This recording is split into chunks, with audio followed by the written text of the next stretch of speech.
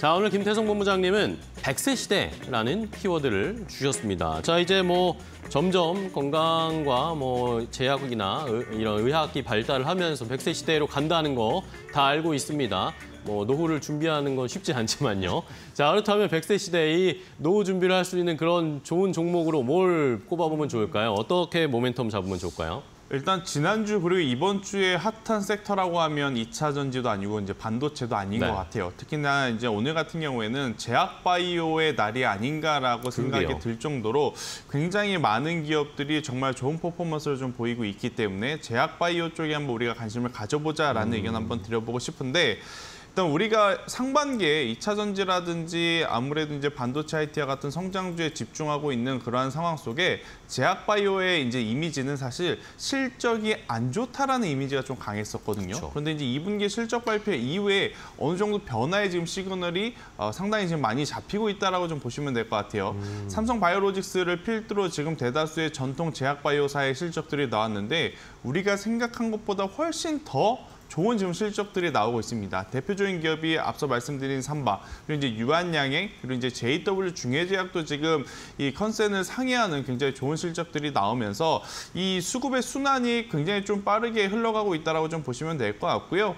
그리고 이제 미국 같은 경우에는 지금 비만과의 전쟁이다라고 표현을 할 정도로 이 비만 치료제의 수요가 굉장히 폭발적으로 증가하고 있다라고 그래요. 그러니까 사고 싶어도 지금 없어서 못 팔 정도로 지금 이 판매량이 지금 좋다 보니까 노보노디스크라든지 일라엘리라고 하는 이러한 기업들의 주가도 큰 폭으로 지금 성, 이 상승을 하고 있어서 그것을 우리나라 시장에 대입을 했을 때 저는 수혜를 받을 수 있는 기업에 우리가 지금은 꼭 한번 관심 있게 좀 보셔야 되지 않을까. 정말 오랜만에 관심이니까요. 네. 우리가 이제 어, 다소 오늘의 상승이 불편하다 할지라도 꼭 체크를 하고 가셔야 된다라는 의견 한번 드려보도록 하겠습니다. 네, 좋습니다.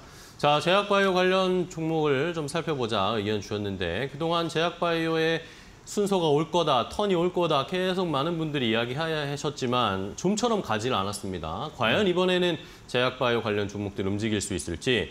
자, 그럼 어떤 종목을 좀 볼까요, 본부장님?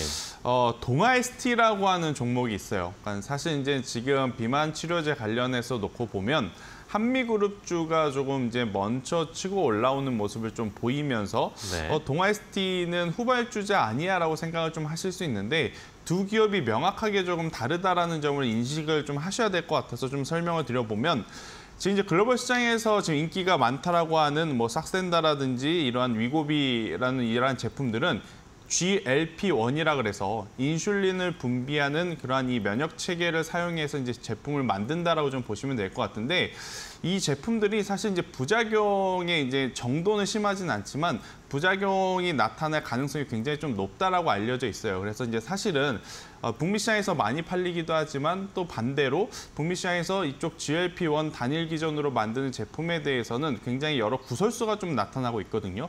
그러다 보니까 이것을 조금 개선하는 제품이 이 GLP-1 원이라고 하는 이 여기에 플러스 알파에 이제 이 복합 기전을 좀 붙여가지고 어, 개발을 하는 기업들이 그러니까 대표적으로 일라일리가 어, 어제 이제 미국 시장에서 굉장히 좋은 모습을 보였는데 우리나라 시장에서 이제 그것을 이제 비교를 해보면 한미 반도 아, 한미 약품이라든지 한미 네. 사이언스는 앞서 말씀드린 대로 GLP-1 단일 기전 제품을 이제 만든다라고 좀 보시면 될 것 같고요.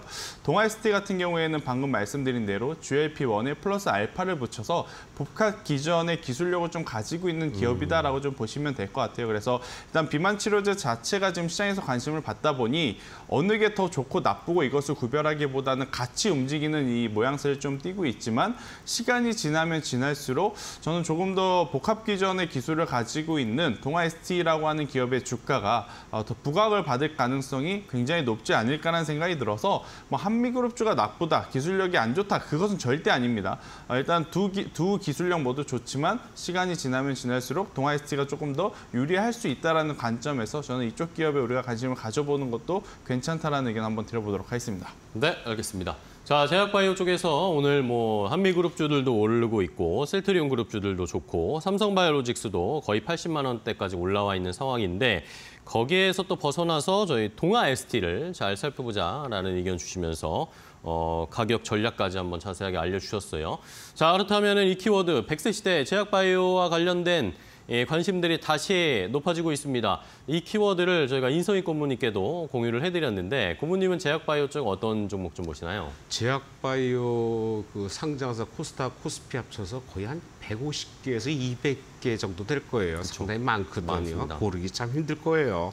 어, 그러니까 다른 종목은 뭐 2차 전지나 뭐 초전도체는 몇 개 종목 되지도 않고 또 몇 개 종목 중에서 가는 종목은 정해져 있는데 제약바이오는 거의 통으로 가는 것 같다 생각이 들고 어, 지금 뭐 가장 관심 있는 게 뭐 비만, 탈모 뭐 이런 것들 관련된 어, 종, 종목들이 지금 강하게 올라가고 있는데 어, 그거 말고도 제약바이오는 실적이 워낙 그동안 좋았 고 많이 올랐기 좀 많이 올랐어요. 그래서 좋았기 때문에 어, 계속적으로 관심을 가지, 갖고 싶다라고 생각했는데 오늘은 제가 오른 거는 이제 코로나예요. 코로나 관련해 갖고 음, 네. 어, 종목인데 코로나가 지금 거의 하루에 어, 뭐 6만 명대까지 올라왔다. 그러니까 끝난 줄 알았던 코로나가 다시 오는 것 같아요. 근데 어, 독감도 지금 독감약이 많잖아요. 근데 독감도 백, 주사 백신 주사 있어요. 그래서 맞는 사람도 있고 뭐 그런데 거의 뭐 맞는 이율은 전체 인구의 몇 프로 안 되잖아요. 백신도 지금 우리가 백신을 3차, 4차까지 맞았는데 이제는 코로나 관련 백신을 맞는 사람은 상당히 줄어들고 그 재고도 지금 뭐 2조 원대를 넘 우리나라 돈으로 2조 원대를 더 지금 어, 폐기해야 된다 이런 얘기도 나오는데 실제로 백신보다는 치료제 쪽이거든요. 네네. 치료제는 기존에 화이자에서 만든 그 팍스로비 드 그다음에 라게브리오 이런 종 이런 치료제밖에 없었는데 이게 상당히 비싸단 말이에요. 네. 그 우리나라 치료제를 몇 개 만들었어요. 많이 만드는 건 아니고 일동제약에서 조코바라는 일본 제약사하고 협약을 해서 했는데 그게 지금 아직 안 들어오고 있어요. 일, 일본에서는 지금 1월 달부터 긴급 승인으로서 시판이 되는데 우리나라에서는 지금 식약처에서 승인을 안 해주고 있어요. 그러니까 승인을 하려다가 보니까 코로나가 좀 잠잠해졌거든요. 그러니까 계속 미뤘어요. 그래서 일동제 있고 신풍제약에서 삼상 마무리 단계 있고 지금 우리나라 토종으로는 지금 현대바이오라는 회사에서 어 지금 제프티라는 치료제를 만들어서? 이상 끝났어요. 그래서 이게 좀 관심이 상당히 높은데 이게 지금 그 긴급 사연 승인을 하려면은 질병관리청에서 요청을 하고 그 다음에 식약처에서 심사를 진행해야 되는데 이게 5월 달에 시작을 했는데 이게 기존의 일동제약과 조코바하고 연결돼 가지고 별로 지금 진행을 안 되고 있는데 갑자기 지금 코로나가 막 확진이 되니까 제가 보기엔 조만간 가능성이 좀 있어 보여요. 네네. 특히 제, 이, 제, 제프티라는 것은 중국 시장에 지금 진출할 준비를 하고 있는데 중국에서 5월 달에 중국 의약 협- 그 대표단들이 왔어요. 네. 이- 그 제약회사 대표단들이 왔는데 그때 주가가 한번 팍 튀었거든요. 그래서 어, 그 대표단이 방안을 해가지고 중국 시장으로 아마 좀 가져갈 생각을 아마 하는 것 같은데 중국 인구가 얼마예요? 이게 치료제가 된다면은 이 회사가 그동안 생각 적자 적자 기업이지만 생각하지 못할 정도의 네. 갑자기 잭팟이 터질 수도 있겠다라는 가능성도 갖고 있다라는 생각이고 이 회사는 주로 개인이 매수하거든요. 개인 매수예요. 지난 한 달 동안에 160만 주를 개인이 매수했어요. 네. 개인이 매수하는 게 우습 우습지 않은 게 우리 봤잖아요. 에코프로라든지 여러 가지 그 네. 2차 전지나 어, 초전도체 가서 봤단 말이에요.